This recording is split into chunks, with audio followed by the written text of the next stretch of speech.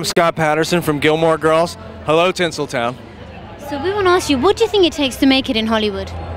Persistence, patience. Uh, you can't take it personally when you get rejected. And uh, if you have a lot of money, you should bribe people as often as possible. and what advice would you give to people who want to come here and chase their dream? Be prepared. Be as prepared as you possibly can. Have a lot of experience in theater.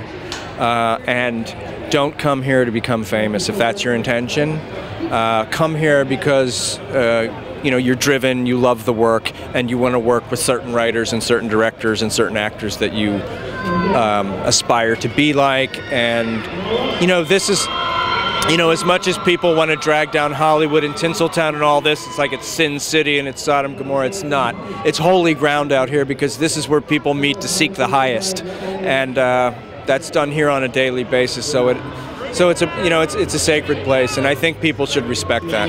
You know, um, so the main the main piece of advice is just know your craft as best as you possibly can, and realize that it's going to take a while for them to recognize that uh, if you do have talent and, and you are ready, that, that they will recognize it. But don't take anything personally. It's they don't mean it personally.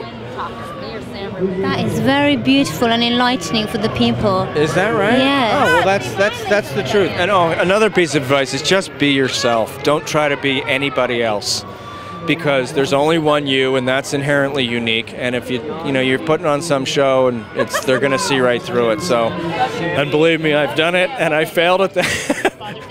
and the and the day you become comfortable in your own skin and that and you and you trust that that's enough uh, is the day you're going to be successful.